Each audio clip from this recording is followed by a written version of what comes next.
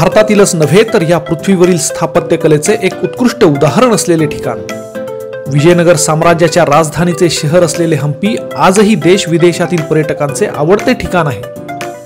हम्पीची संपूर्ण माहिती इथे यायचे कसे काय काय पाहायचे हे सर्व आज आपण या व्हिडिओमध्ये पाहणार आहोत. नमस्कार मंडळी. पर्यटनाच्या या मराठमोळ्या चॅनलमध्ये आपल्या सर्वांचे स्वागत. आज आपण आलो आहोत विजयनगरच्या साम्राज्याच्या राजधानीमध्ये.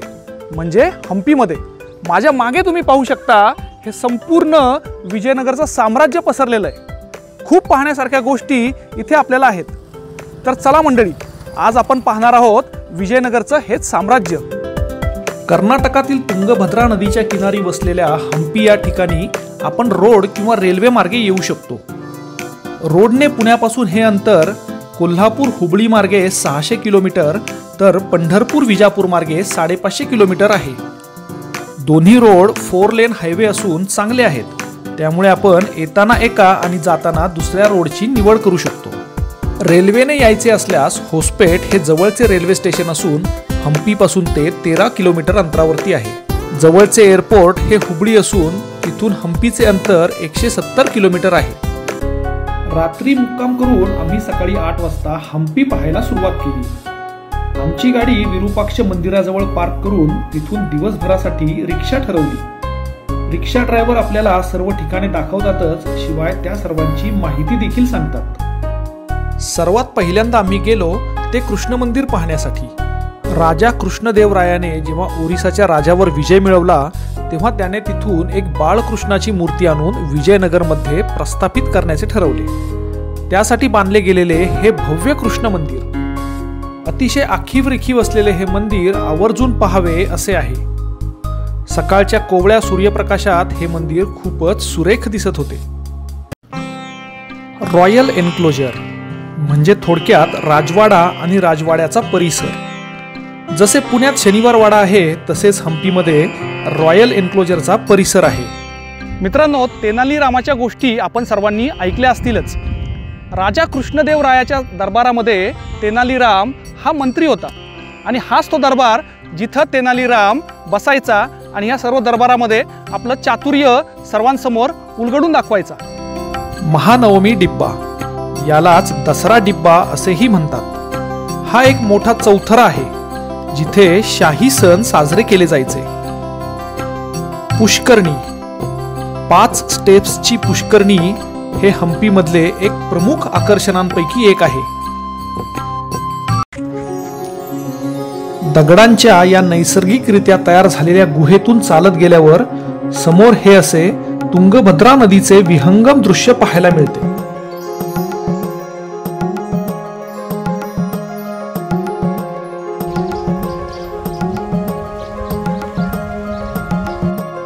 हम्पीमधील पर्यटकांचा एक आवडता कार्यक्रम म्हणजे कोरॅकल राईड.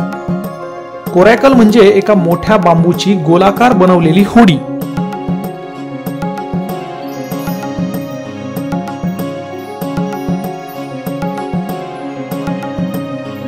याच तुंगभद्रा नदीच्या पात्रात आपण कोरॅकल राईडचा आनंद घेऊ शकतो. अर्ध्या तासाच्या राईडसाठी प्रति व्यक्ती पाचशे रुपये आकारले जातात. प्रत्येकाने आवर्जून ही कोरॅकल राईड करावी आणि या स्वर्गीय सफरीची अनुभूती घ्यावीच.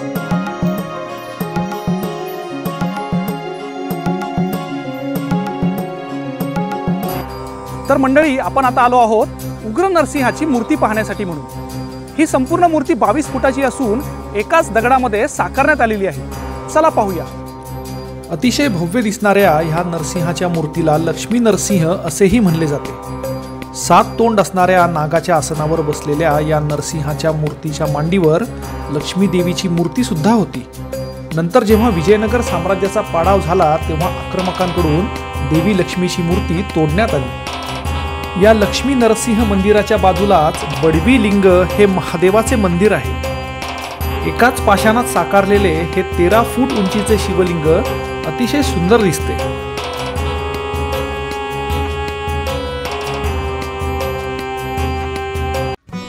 आता आम्ही पोहोचलो ते हातीशालाचा परिसर पाहायला.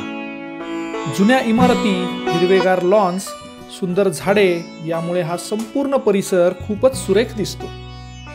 पूर्वी हत्ती हे युद्धामधील अविभाज्य घटक होते.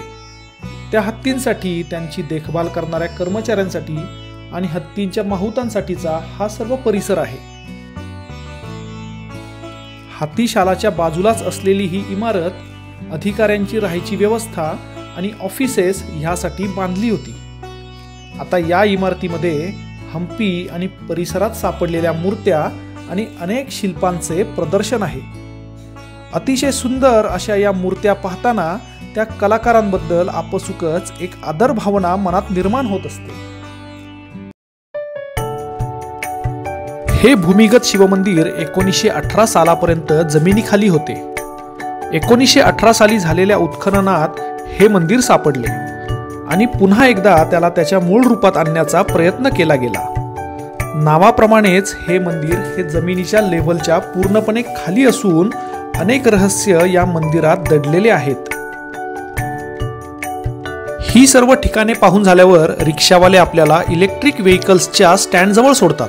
चाळीस रुपयाचे तिकीट काढून ह्या गाड्या आपल्याला विठ्ठल मंदिरापर्यंत घेऊन जातात. चला आता इलेक्ट्रिक गाडीमध्ये बसून विठ्ठल मंदिराकडे निघालोय आपण आता. साधारण दोन किलोमीटरच्या या रस्त्याची सफर खूपच मस्त आहे. एका वेगळ्याच दुनियेत आपण प्रवास करत आहोत असा भास होत राहतो. दोन्ही बाजूला उंच डोंगर एकमेकांवर रचून ठेवल्यासारखे मोठमोठे दगड मध्येच दिसणारी दगडांची जुनी मंदिरे त्या काळातील दगडी दुकानांची बाजारपेठ नारळाची झाडे या सर्वांमुळे हा प्रवास फारच अविस्मरणीय होतो. विठ्ठल मंदिराचा संपूर्ण परिसर हा अक्षरशः डोळ्यांचे पारणे फेडणारा असा आहे. या संपूर्ण परिसरात विठ्ठल मंदिर खांबातून सप्तसूर निर्माण करणारे सभामंडप दगडी रथ नयनरम्य मंदिरे आणि बरेच काही पाहण्यासारखे आहे. मित्रांनो आपण आत्ता जिथे उभे आहोत ते आहे हम्पीमधलं प्रसिद्ध विठ्ठल मंदिर. आपण माझ्या मागं पाहू शकता हे आहे ते विठ्ठल मंदिर. असं म्हणलं जातं की जेव्हा यवनांची आक्रमणं या मंदिरांवरती झाली तेव्हा इथली विठ्ठलाची मूर्ती ही आपल्या महाराष्ट्रातल्या पंढरपुरामध्ये नेऊन स्थापित करण्यात आली. म्हणूनच या विठ्ठलाला कानडा विठ्ठलू असंही म्हणलं जातं बऱ्याच ठिकाणी. अजून एक वैशिष्ट्य या मंदिराचं असं की या मंदिराला जोडून जो सभागृह आहे त्याच्यामध्ये पन्नास खांब आहेत. आणि या पन्नास खांबांमधून वेगवेगळ्या वाद्यांचे सप्तस्वर ऐकू ऐकू येतात.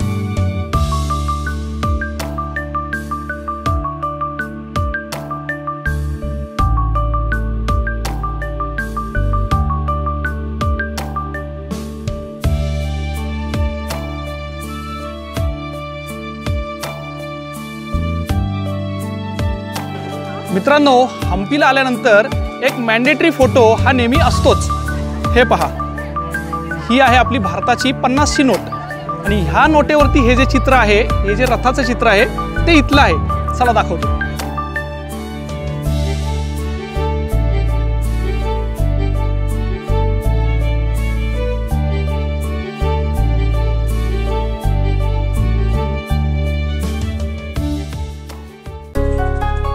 हजार राम मंदिर. या मंदिराच्या भिंतींवर खांबांवर सर्वत्र भगवान श्रीरामाच्या मूर्त्या आणि रामायणांमधील असंख्य कथा कोरण्यात आल्या आहेत.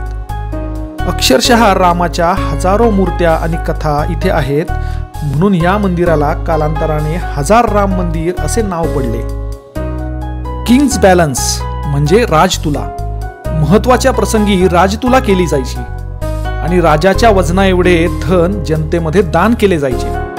त्यासाठी म्हणून बांधलेली ही राजतुला अजूनही चांगल्या अवस्थेत उभी आहे. हे एक उत्तम स्थापत्यशास्त्राचे उदाहरण आहे.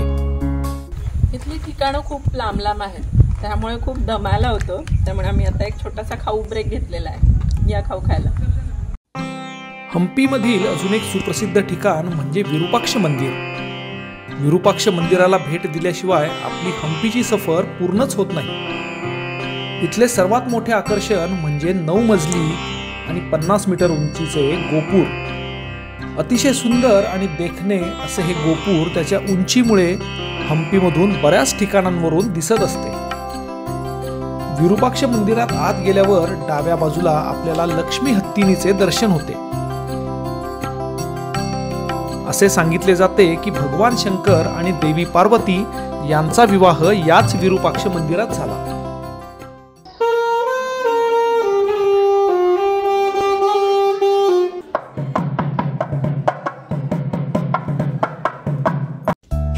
विजयनगर साम्राज्य हे त्या काळातील सर्वात शक्तिशाली आणि वैभव संपन्न असे राज्य होते. तीन शतकांहून जास्त काळ निर्विवाद राज्य केल्यानंतर पंधराशे पासष्टमध्ये झालेल्या तालिकोटच्या लढाईत दक्षिणेतील सर्व मुस्लिम सुलतानांच्या आघाडीकडून ह्या साम्राज्याला पराभव पत्करावा लागला. हिंदू संस्कृतीचे प्रतीक असलेले हे वैभवशाली राज्य नष्ट करण्यासाठी तब्बल पुढील सहा महिने लागले. सहा महिने फक्त आणि फक्त विध्वंस हंपीने अनुभवला. तरी अजूनही आपल्या संपन्नतेची साक्ष देत उरलेल्या वास्तूंसहित हा सर्व परिसर आपल्याला आमंत्रित करीत आहे. परंतु इथे जाण्याआधी सर्वांना एक विनंती करावीशी वाटते. सर्वांनी थोडासा गृहपाठ करून आणि प्रत्येक वास्तूचा इतिहास समजून गेलात तर अधिक चांगल्या पद्धतीने आपल्याला हम्पी अनुभवता येईल. काही चांगल्या पुस्तकांची आणि व्हिडिओची लिंक मी डिस्क्रिप्शनमध्ये देत आहे. तर मित्रांनो तुम्ही तर हम्पीला नक्की भेट द्याच आणि आपण जाऊन आल्यानंतर अधिकाधिक लोकांना जाण्यासाठी प्रवृत्त करा. हम्पी संदर्भात काही शंका किंवा प्रश्न असतील तर आम्हाला कमेंटमध्ये नक्की विचारू शकता. आणि आता हा व्हिडिओ तुमच्या मित्रमंडळींना आणि ग्रुपला फॉरवर्ड करा आणि करा तयारी हम्पीच्या ट्रिपची. तर चला मंडळी भेटू पुन्हा अशाच नवीन व्हिडिओमध्ये. वाट पाहतोय तुमच्या प्रतिक्रियांची. तोपर्यंत नमस्कार.